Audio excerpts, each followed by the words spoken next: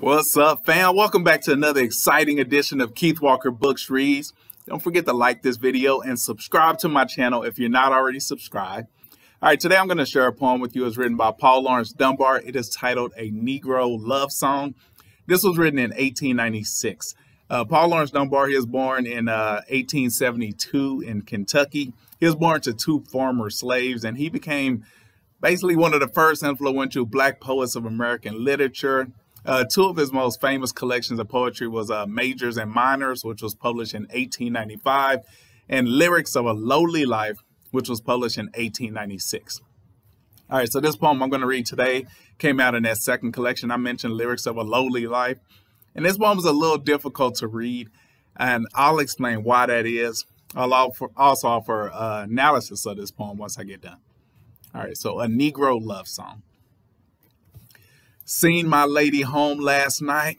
Jump back, honey, jump back. Held her hand and squeezed it tight.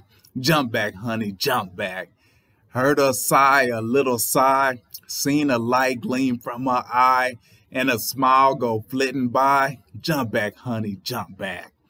Heard the wind blow through the pine. Jump back, honey, jump back. Mockingbird was singing fine. Jump back, honey, jump back and my heart was beating so when I reached my lady doe that I couldn't bear to go. Jump back, honey, jump back. Put my arm around her waist. Jump back, honey, jump back. Raised her lips and took a taste. Jump back, honey, jump back. Love me, honey, love me true. Love me well as I love you. And she answered, Course I do. Jump back, honey, jump back. All right, so that's that poem. I hope you enjoyed it. It's a love poem. It's it's a sweet poem. Uh, the reason why it's a little difficult to read, and also this is a reason why initially I wasn't a fan of this poem, and it's because of the way it's spelled phonetically throughout the poem. All right, so as you're reading the poem, you already noticed the dialect. This was clearly written in a black man or a Negro at the time in the dialect that they would use during a time period. So there's slang in here, which is fine. And the thing, the phonetic spelling, though, that's a little. It, initially, when I was reading it, it was a little much. And um, for example, and I'm going to put the poem down in the bottom of the description of the video so you can look at it yourself.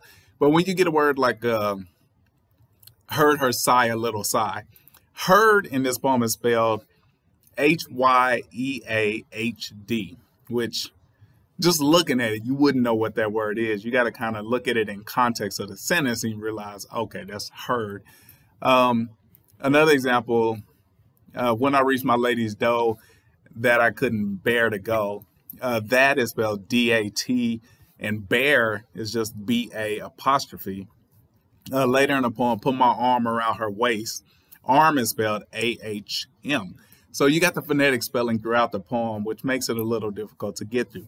So initially, when I was reading this poem, I was thinking it was too much because I'm a writer myself, and when I write um, certain things, especially when I write urban urban books, I have some gang members, and you know we have slang. So we got slang, we got a dialect. Southern Black people, we have a dialect, and an example of what I would typically do, and just basically how slang works, in my opinion, it's just kind of a lazy tongue.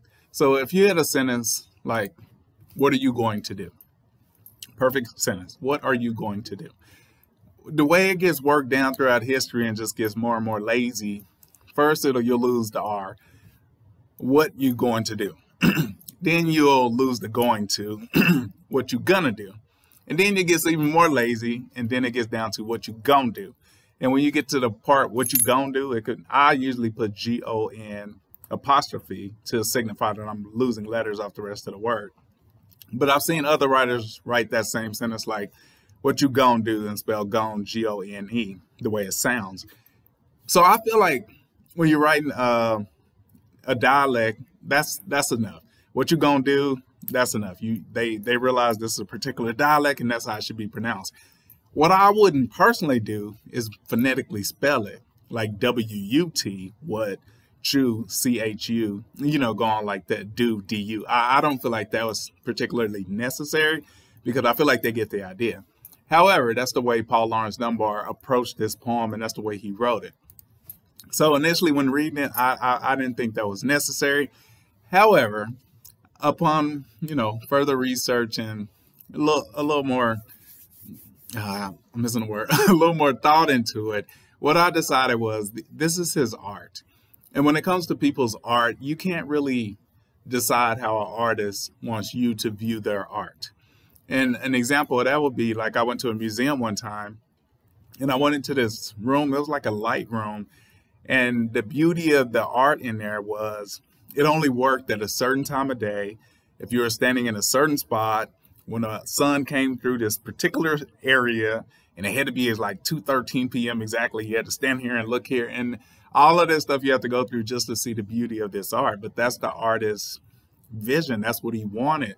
So when it comes to art, you the artist is the sole person who could decide how they want you to view their art. So when Paul Laurence Dunbar wrote this poem, he made it very clear that he wanted these words to sound exactly like this when you read it, or even when you read it inside of your head and think it.